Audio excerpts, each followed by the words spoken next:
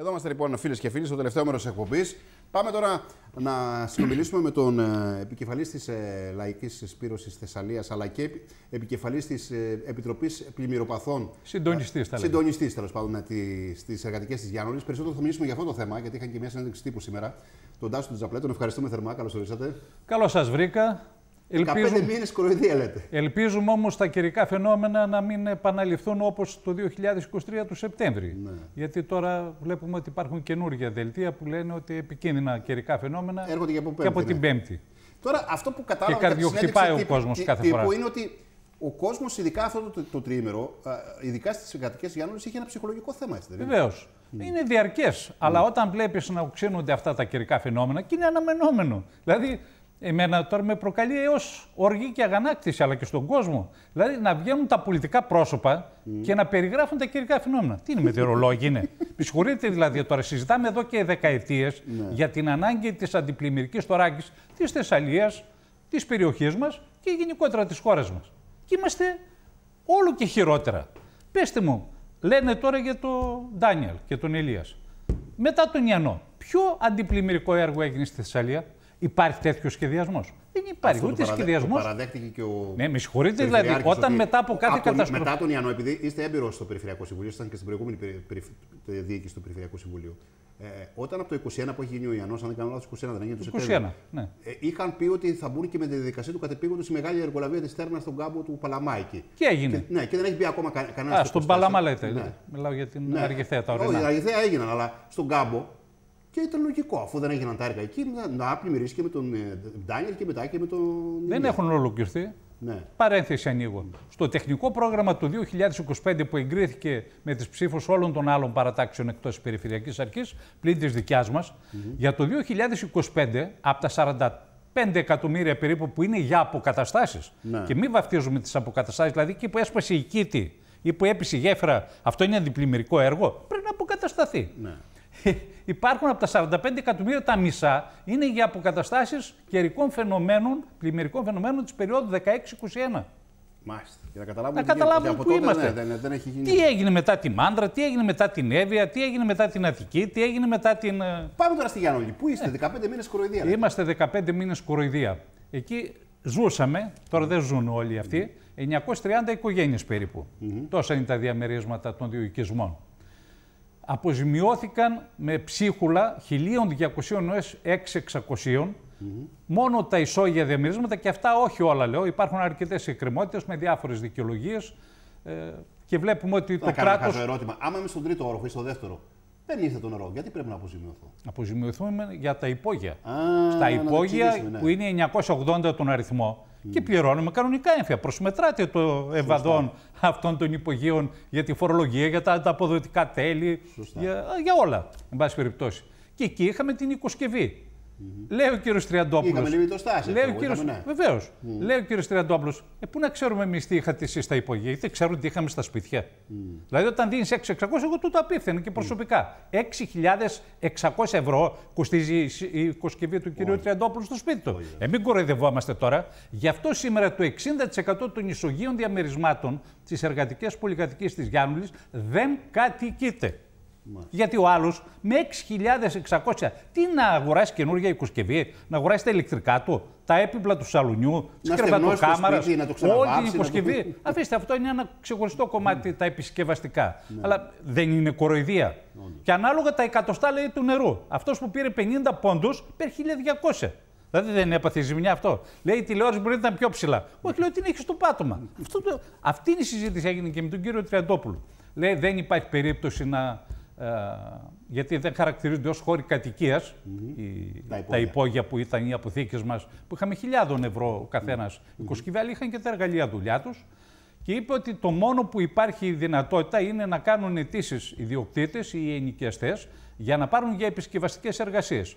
Εδώ δεν έχουμε καταστροφή όπως υπήρχε παράδειγμα στο Κουλούρι, στα Μεγάλα Καλύβια, στη Φαρκαδόνα που έπεσαν σπίτια. Εδώ φούσκουσαν οι τείχοι, πρέπει να βαφούν, πρέπει να στεγνώσουν, πρέπει να καθαριστούν κτλ. Και υπάρχουν και οι κοινόχρηστοι χώροι με τις ε, συσκευές αυτές, τις θερματικές, είτε είναι ο λέβητας αερίου, είτε είναι λέβητας πετρελαίου, είτε αντίστοιχα η δεξαμήνη, που εκεί πρέπει να γίνουν και αυτό. Σε αυτό λέει μπορεί να πάρετε κάποια χρήματα, να ναι. κάνετε αιτήσεις, να πάρετε κάποια χρήματα για τα επισκευαστικά. Όμως όλα αυτά τα, τα χαρτιά, όλη αυτή τη χαρτούρα που χρειάζεται να μαζέψει ο άλλος, μπορεί να δαπανίσει 300 ευρώ και να, να, πάρει, εδώ, να πάρει 350. Εδώ ένα ε, ερωτικό ερώτημα. Ε, έπρεπε μια ευνομούμενη πολιτεία να έχει φτιάξει εργατικέ κατοικίες σε πλημμυρική ζώνη μπαγκίνας επέκτασης σπηλιού. Ασφαλώς όχι. Είμαστε. γιατί ακούστε και αυτό. Ναι, γιατί τι φταίει; Ότι ο, ο άνθρωπος ήταν εργαζόμενος, πήρε μια εργατική κατοικία. Υποτίθεται το κράτος το, το, το κράτος έπρεπε να σκεφτεί ότι δεν φτιάχνω. Πάλι η λογική του κόστους και ωφέλους. Ναι. Να πάρουμε πιο φτηνά ναι. ε, και με κανένα. Ναι, ναι, σωστά. Ε, Κα... Καταλαβαίνετε. Με ρουσφέτη εκεί για την Όχι, όχι με ρουσφέτη. Πιο φτηνά τα οικόπεδα και με καμιά μιζούλα. Ναι, σωστό. Έτσι επιλέχθηκαν αυτά τα οικόπεδα και όχι άλλα. Και γι' αυτό λοιπόν, όταν το κράτος μιλάει και οι εκάστοτε κυβερνώντες ή και οι τοπικοί διοικούντες, όταν Όχι, μιλάνε αυτό. και ρίχνουν την ευθύνη στον πολίτη, γιατί πάει Εκεί λέει. Εκεί θέλω να καταλήξω. Δηλαδή, λέει ο άλλος, Συγγνώμη, ρε παιδιά, όταν βλέπεις ότι ε, σε ναούς, ας πούμε, υπάρχει ναοδομία, στην ουσία δεν ξέρουμε τι γίνεται από αντισυσμικές. Σε εργατικές κατοικίες, υποτίθεται το Υπουργείο Εργασίας δεν πρέπει να τα ελέγξει αυτά μαζί με το Υπουργείο Υποδομών τότε, ξέρω εγώ, Πεχοδέ, ποιο ήταν, ας πούμε, και σε φτιάχνει. Βλέπουμε, ας πούμε, σε Δήμους φτιάχνουν κέντρα υγείας που τα παίρνει το ποτάμι. Τα είδαμε, αυτός στον Ιαννό, δεν τα θυμάστε. Κοιτάξτε, δηλαδή, τι γίνεται; Κύριε Κουλάτο, μέσα σε αυτό το σύστημα το εκμεταλλευτικό, αυτή είναι η άναρχη ανάπτυξη της δόμησης, της αξιοποίησης των χρήσεων της γης, ναι. των χρήσεων της γης, εμποδίζει και σε μεγάλο βαθμό το να υπάρχει ένας ολοκληρωμένος σχεδιασμός και τα αντίστοιχα έργα. Βλέπετε, ακόμα και εκεί που γίνονται κάποια έργα, είτε αποκαταστάσεων, είτε τα αντιπλημμυρικά, είναι αποσπασματικά. Και η αποσπασματικότητα είναι χειρότερη, Πάντως, χειρότερη σε αυτό. Ναι. Γιατί μπορεί να αντιμετωπίσεις εδώ, παράδειγμα, πίσω από τις εργατικές κατοικίες, έσπασε το ανάχωμα σε ένα μήκος 64 μέτρων. Όντως. Και πλημμυρίσαμε. Mm. Αυτά τα αναχώματα στον Πινιό και στα άλλα ποτάμια της Θεσσαλίας είναι 7-8 δεκαετιών. Μπορεί να μου πει κανένας, μπορεί το τεχνικό επιμελητήριο να βεβαιώσει ότι αυτά τα αναχώματα των ποταμών, πρώτα και κύρια του Πινιού που δέχεται όλα τα νερά, αν ελέγχθηκαν ποτέ; Ποτέ. Εγώ ξέρω ότι η ΔΕΗ στην λίμνη Πλαστήρα παίρνει σε αιτήσια βάση με τη μέθοδο του καρότου δείγμα και ελέγχει την ανθεκτικότητα του φράγματος για να μην σπάσει κτλ. Στα αναχώματα δεν έγιναν ποτέ. Ποτέ δεν έγινε μια συντήρηση, ποτέ δεν έγινε ενίσχυση, μετατόπιση. που μπορεί άρα, να λοιπόν, άρα λοιπόν, αυτό που αποκαταστάθηκε προσωρινά με ένα μπάζουμα, με αμουχάλικο, που δεν είμαι τεχνικός, αλλά εσείς που έχετε και τεχνικές ε, γνώσεις, ναι, θα αντέξει, δεν είναι, θα αντέξει αν ανέβει κι άλλο η στάθμη τώρα του ποινιού ποταμού. Το, το ανάχωμα εκεί που μπαζώθηκε.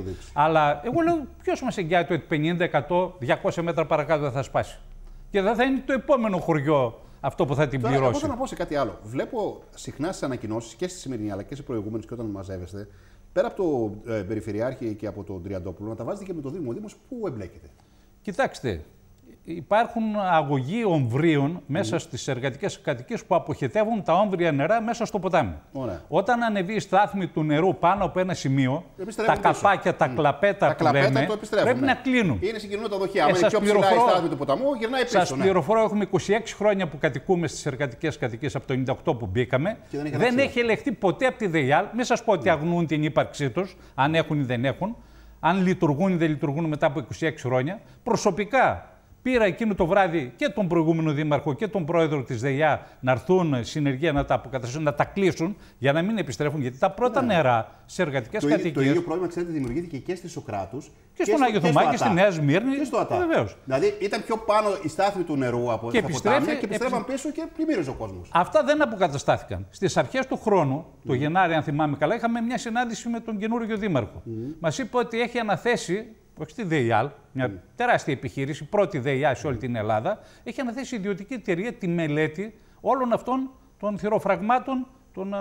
ομβρίων υδάτων για όλο το Δήμο της Λάρισας. Το Φλεβάρι θα ήταν έτοιμοι και θα επιχειρούσαν την αποκατάσταση. Είδατε εσείς τίποτα, ούτε εμείς είδαμε μέχρι τώρα. Καμία απάντηση, φωνή όντω εν τη ερήμου. Από εκεί και πέρα, ζητήσαμε να γίνει αποκατάσταση των καταστημάτων των κοινόχρηστων, που με την παράδοση των οικισμών από τον πρώην ΕΚ στους Δήμους, στον εκάστοτε Δήμο, έχει την ευθύνη της ενοικίασης, της αξιοποίησης αυτής της περιουσίας και ταυτόχρονα της συντήρησης. Mm. Είναι όπως έφυγε το νερό από τις... ναι, ναι, σωστά. Ναι, σε αυτή την κατάσταση. Ζητήσαμε να γίνει αποκατάσταση των κοινόχρηστων χώρων του Πρασίνου. Mm. Μα λέει δεν έχει προσωπικό. Mm. Με συγχωρείτε, για άλλες ανάγκες επιλέγονται μεγάλες δαπάνες για να γίνονται εκδηλώσεις, τάχα πολιτισμού κτλ. Εμείς θεωρούμε ότι αυτό δεν το έχουν στην προτεραιότητα. Καταφέραμε μετά από ένα χρόνο περίπου από την πλημμύρα να αποκατασταθεί η άσφαλτος μέσα στους δρόμους του εσωτερικού οδικού δίκτυου του δύο οικισμών που ναι. ήμασταν. Για τον βρεφονιπιακό σταθμό, λέει κάποιος. Θα σας πω, δεν είναι του Δήμου. Ναι. Επίσης, υπάρχει. Αυτό, υπάρχει ε, είναι; είναι όχι, του, είναι της ΔΥΠΑ, του πρώην ΟΕΔ, του Υπουργείου Εργασίας. Επίσης, υπάρχει μία αποκατάσταση ακόμα του κλειστού γυμναστηρίου ναι. μέσα στις εργατικές κατοικίες. Και φυσικά υπάρχουν μια σειρά προβλήματα που δεν αντιμετωπίζονται. Δεν είναι τωρινά, είναι μόνιμα προβλήματα, εν πάση περιπτώσει, στι εργατικές κατοικίες. Από αυτή την άποψη, εμείς ζητήσαμε ξανά συνάντηση. Ακόμα περιμένουμε πάνω από ένα μήνα να πάρουμε εγώ απάντηση. Θα λίγο ακόμα πιο αιχμηρός. Να σας πω κάτι για, τις, ναι, για το ναι, βρεφονιπιακό, γιατί είναι σημαντικό. Αυτός είναι ένας από τους 25 βρεφονιπιακούς σταθμούς που έχει κατασκευάσει ο πρώην ΟΑΕΔ, νυν ΔΥΠΑ. Mm. Αυτός δεν λειτουργήσε ούτε το 23 ούτε το 24. Ναι. Και εδώ είμαστε σε ένα παράδοξο. Mm. Ένας υπάρχει σε ολόκληρη τη Θεσσαλία, δεν θυμάμαι αν υπάρχει και ένας στην Καρδίτσα, ένας mm. αντίστοιχος. Δεν έχει προχωρήσει ακόμα και οι ίδιοι λένε ότι θα ξεκινούσε με μια μικρή καθυστέρηση το Σεπτέμβριο και τώρα λένε ότι θα αρχίσει μέσα στο 2025. Εγώ ρωτάω, το 2025 έχει και Γενάρη, έχει και Δεκέμβρη. Ποιο μήνα; Θα ξαναυπάρχει αυτή η δυνατότητα τα 48 παιδάκια; Λένε ότι το διευθέτησαν το θέμα με συνεργασία του Δήμου να πάνε σε άλλους παιδικούς σταθμούς. Μάλιστα.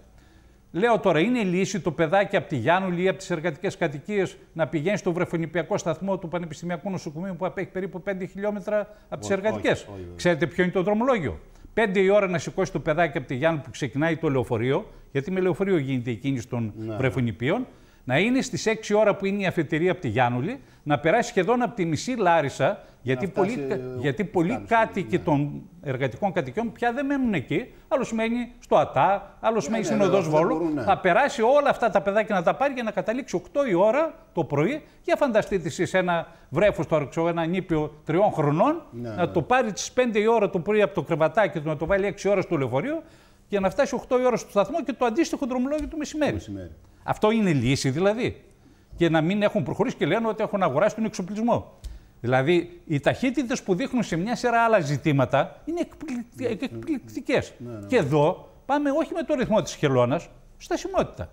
Και αυτό είναι ένα μεγάλο πρόβλημα που εμείς ε, αποφασίσαμε να στηρίξουμε και αυτή την πρωτοβουλία των γονιών που αύριο το απόγευμα θα συγκεντρωθούν έξω από τον βρεφονιπιακό σταθμό, γιατί η κοροϊδία και σε αυτούς δεν μπορούν να προγραμματίσουν τη ζωή τους. Ε, είναι ένα μεγάλο πρόβλημα. Και φυσικά αυτοί που δεν βολεύονται με αυτό το δρομολόγιο μπορούν να πάνε και σε ιδιωτικό και να πληρώνουν. Πάω τώρα σε κάτι άλλο πιο αιχμηρό και με αυτό θα κλείσω. Αμέσως μετά τις πλημμύρες ε, στις εργατικές της Γιάννουλης, είχε γίνει μια αυτοψία από διάφορους τεχνικούς και μηχανικούς που είχαν δημοσιεύσει και κάποια πράγματα για κάποιες αυθαίρετες παρεμβάσεις που έχουν γίνει και εμποδίζουν τη ροή του, του ποταμού. Κάποιες μάντρες, κάποια ε, κέντρα διασκέδασης, κάποια. Αυτά κανονικά, αν θες, σαν πολιτεία ευνομούμενη, να μην ξανασυμβεί κάτι τέτοιο, θα πρέπει να, να τα έχεις άρη. Έχει γίνει κάτι; Απολύτως τίποτα. Αντίθετα, μου έστειλα μια φωτογραφία. Απλά ότι χρησιμοποιούνται αυτή... για να μεταφέρουν ναι, την ευθύνη μια φωτογραφία, τους, Ναι, μου έστειλε και μια φωτογραφία και το αναρτήσαμε και στο site. Μέσα σε αυτή την πλημμυρική ζώνη που χτιζόταν μια καινούργια μεζονέτα. Και λέει, ποιος την έδωσε την άδεια αυτή; Δεν ξέρω αν το έχετε δει. Κοιτάξτε. Δεν ξέρω αν είναι μεζονέτα, το ναι. έχω υπόψη μου ναι. ποιο είναι. Είναι περίπου στο, στο, στο τέλος της Σανδράκη, εκεί δηλαδή ναι, ναι, ναι, που, που ενώνεται με, την, ε, με τον κεντρικό δρόμο, τη Μανουσάκη του, mm. του Πέρα Μαχαλά. Ε, δεν ξέρω αν είναι επαγγελματική στέγη ή είναι κατοικία. Δεν ξέρω. Είναι ακόμα στα μπετά από ό,τι βλέπω. Είναι καραγιαπή. Το ζήτημα είναι όλες αυτές οι επιχειρήσεις που είναι μέσα στην πλημμυρική ζώνη του ποινιού είναι αδειοδοτημένες. Ναι, Λειτουργούν χρόνια, δεκαετίε. Και έχουν πάρει και αποφάσεις και δημοτικά και περιφερειακά συμβούλια. Ορισμένες από αυτές είναι ναι. πριν γεννηθώ εγώ. Ναι, όντως. Η γενιά μας τέλος πάντων. Ε, Α μην τα επικαλούνται. Δηλαδή με την ανοχή τους όλα αυτά τα χρόνια ή αν θέλετε και με τη στήριξή τους γίναν όλα αυτά. Το ίδιο το κράτος κατασκεύασε 930 διαμερίσματα μέσα στην πλημμυρική ζώνη του ποινιού και έρχονται τώρα να μευτούν. Ο άλλος φταίει μετά γιατί κάει το σπίτι του, γιατί πνίγηκε, γιατί έπεισε το σπίτι του στο δαμάσι και πάει λέγοντας. Ναι, ναι. Από αυτή την άποψη πρέπει να σταματήσει αυτήν η κοροϊδία, ο εμπεγμός απέναντι στους παθώντε, στους πληγέντες, είτε είναι από τις πλημμύρες, είτε είναι από τις πυρκαγιές, είτε είναι από το σεισμό, να προχωρήσει την υποχρέωση πολιτείας. Εγώ με εξοργίζει αυτό που βλέπω να βγαίνουν και να λένε Μοιράσαμε εκατομμύρια εδώ, εκατομμύρια εκεί. Από την τσέπη τους. Με συγχωρείτε δηλαδή. Έχουν ταράξει τη φορολιστία το λαό μας, άγρια φορολιστία επί δεκαετίες, και έχει υποχρέωση το κράτος να αποκαταστήσει αυτούς που έπνιξε. Εμείς δεν πνιγήκαμε, κύριε Κουλάτη. Μας έπνιξε η ανυπαρξία αυτού του σχεδιασμού Πάντως, και ναι, των ναι, έργων. ναι, και ναι. δεν έχει γίνει. Ας. Εγώ σας λέω τώρα, πέρασαν 15 μήνες. Εδώ ούτε το, ούτε το 1 τρίτο των ε, αποκαταστάσεων, αποκαταστάσεων μιλάω, δεν έχει προχωρήσει. Ο Τώρα κ. θα σα- Περιφερειάρχης μιλούσε για 536 εκατομμύρια ευρώ περίπου Ναι. που θα χρειαστούν για τις αποκαταστάσεις. Έχουν ταπανηθεί περί τα 120 εκατομμύρια μέχρι τα τώρα. Ένα, ενάμιση χρόνος σχεδόν μετά. ναι. Πότε θα ολοκληρωθούν; Και τα καιρικά φαινόμενα δεν περιμένουν. Ναι, δεν περιμένω πότε θα- δεν περιμένουν. θα είσαι εσύ έτοιμος. Άρα λοιπόν αυτά έπρεπε να είχαν γίνει και πρέπει να υπάρχει καλά η αποκαταστάση. Υπάρχει πρόληψη. Υπάρχει πρόληψη. Εμείς λέμε ότι πρέπει να υπάρχει σχεδιασμός, πρέπει να υπάρχουν αντίστοιχα έργα από τα ορεινά. Και αυτό είναι ένα συνολικό σχέδιο. Τα έργα που θα συγκρατούν Ε, βέβαια. μεγάλες ποσότητες νερού, τα έργα ορεινής υδρονομίας. Αυτά δεν μπορούν να τα επαναλαμβάνουν αυτοί που έχουν την εξουσία στα χέρια και να το λένε κάθε φορά μετά από κάθε πλημμύρα και καταστροφή να λένε ότι έπρεπε να γίνουν έργα. Και ποιος δεν τα έκανε δηλαδή. Να ρωτήσουν ποιον. Εντάξει, τον αυτό- Κυρκώστα αυτό- και την α- Γερμαρία. α- αυτό μου θυμίζει ότι δεν περ- λαμβάνουμε καμιά πρόνοια, χάνουμε ε, 10.000 ευρώ και έρχεται μετά, το, μετά από λίγο καιρό το κράτος και μας δίνει το ένα χιλιάρικο σαν επίδομα. Και λέμε Ε, πάλι καλά. Δηλαδή είναι, προτιμάν- είναι η λογική του Χότζα αυτή. Ότι Δηλαδή, προτιμούν, Ναι. προτιμούν να δίνουν κάποιες ψωροαποζημιώσει σαν αυτό, όπως είπαμε, που είναι ανεπαρκέστατες πέρα Α, για από ένα πέρα, παράδειγμα που- παρά να φτιάξουν τα μεγάλα από ένα παράδειγμα αυτό να έργα. κλείσουμε. Δηλαδή αυτή η εικόνα τώρα που, της σιδηροδρομικής σειράγγα μετά από τα τέμπη και από όλα αυτά που πλημμύρισε, τι εικόνα είναι έτσι; Τραγική. Τραγική. Εντάξει, τι να πει κάποιος. Έτσι είναι. Αυτά είναι. Αυτή είναι η, πώς να το πω, η πρόνοια και αντίστοιχα η φροντίδα. Αλλά βγήκε ο κ. Και- Ρεζάκης και είπε μέχρι αύριο λέει, το ένα ρεύμα ανόδου μέχρι αύριο θα λειτουργήσει. Δεν θα πηγαίνετε τα λεωφορεία. Εντάξει, Ε, οπότε, και σε τέτοιο άλλος- εξοργίζουν όταν Ναι. σου λένε ότι είμαστε κοντά στους πλημμυροπαθείς και ότι ενδιαφερόμαστε. Είδα ένα δελτίο τύπου, για παράδειγμα, κλείνω με αυτό, της ΔΥΠΑ, που σταματάει στις 29 Αυγούστου, αν θυμάμαι καλά, του 2024, που λέει ότι υπήρχαν κάποια διαδικαστικά ζητήματα εκεί σε σχέση με την επαναλειτουργία του βρεφονιπιακού σταθμού από το ελεκτικό συνέδριο. Με συγχωρείτε, και ποιος κυβερνάει; Έλατε. Οι γονείς που Όχι, πηγαίνουν τα βέβαια, οι παιδάκια. εργαζόμενοι. Ε, εντάξει τώρα, είναι κοροϊδία, χοντρή και απ' την άλλη λες ότι είμαι και κοντά στους πλημμυροπαθείς. Πώς, αυτό πώς εκφράζεται, στα λόγια; Τσάι και συμπάθειο, εδώ δεν έχουμε ούτε τσάι. Φυσικά έχουμε σκέτο συμπάθειο. Γι' αυτό εμείς δεν παρετούμαστε από το να διεκδικούμε 100% αποζημίωση για τη ζημιά που υπέστη ο καθένας στο σπίτι του, στο κατάστημά του, στο χωράφι του κτλ. Αντίστοιχα να γίνουν γρήγορα οι αποκαταστάσεις. Άκουγα πριν και τον κύριο Περιφερειάρχη που έλεγε το θέμα των αποκαταστάσεων, ε, ότι δεν μπορούν να γίνουν άμεσα και γρήγορα κτλ. Και η προηγούμενη Περιφερειακή Αρχή και η σημερινή, όπως και η προηγούμενη κυβέρνηση και η σημερινή, τα κάνουν με τη διαδικασία των διαπραγματεύσεων με περιορισμένο αριθμό εταιριών και με αναθέσει με τη- απευθείας. ναι, απευθ- Στο ναι. όνομα της ταχύτητας. Ναι, ναι, ναι. Θέλετε να μάθετε πόσα χρόνια Fast έχει track, ο ναι. σεισμός και πόσα χρόνια παιδεύεται να γίνει η γέφυρα στο Βλαχογιάννη, στο Μεσοχώρι. Που ήταν με ανάθεση. Ναι, απευθείας ανάσταση. Μάλιστα. Ωραία. Και σήμερα είδαμε και μια δημαρτυρία των μικρομεσαίων εργολάβων και του τέσσερις μεγάλους που λέει τα πήραν όλα αυτά τα έργα στη Θεσσαλία. Έτσι είναι. Καπιταλισμός έτσι είναι. το πολύ είναι. μεγάλο ψάρι τρώει το, το, το λίγο μικρότερο. Ευχαριστώ θερμά κύριε Τσαπλέ. Να είστε Να είστε καλά. καλά. Ευχαριστούμε και εσάς φίλες και φίλοι. Ανανόμου το ραντεβού μας για αύριο το μεσημέρι. Να είστε καλά. Καλό απόγευμα σε όλους. Γεια σας.